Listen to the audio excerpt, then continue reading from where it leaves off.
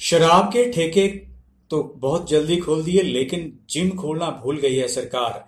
एक तरफ़ तो सरकार यूनिटी बढ़ाने की बात करती है, दूसरी तरफ़ लगभग चार महीनों से जिम बंद पड़े हैं, जिसकी वजह से सारी फिटनेस इंडस्ट्री को भारी नुकसान झेलना पड़ रहा है। कुछ लोग ऐसे भी हैं जिनका राशन पानी, घर का खर्चा, सारा इनकम सोर्स जिम ही है। लॉकडाउन के बाद पूरे भारत को धीरे धीरे खोला जा रहा है। सारे काम धंधे शुरू हो रहे हैं। सुजानपुर युवा कांग्रेस के अध्यक्ष सचिन ठाकुर ने कहा है कि सरकार सोशल डिस्टेंसिंग की गाइडलाइन के साथ जिमों को खोलने की अनुमति भी दे, जिससे जहाँ देश के लोगों को प्रतिरोधात्मक क्षमता बढ़ाने में मदद मिलेगी। वहीं लाखों युवा जो कि लॉकडाउन के चलते बेरोजगार हुए थे, उन्हें फिर से रोज़गार मिलेगा।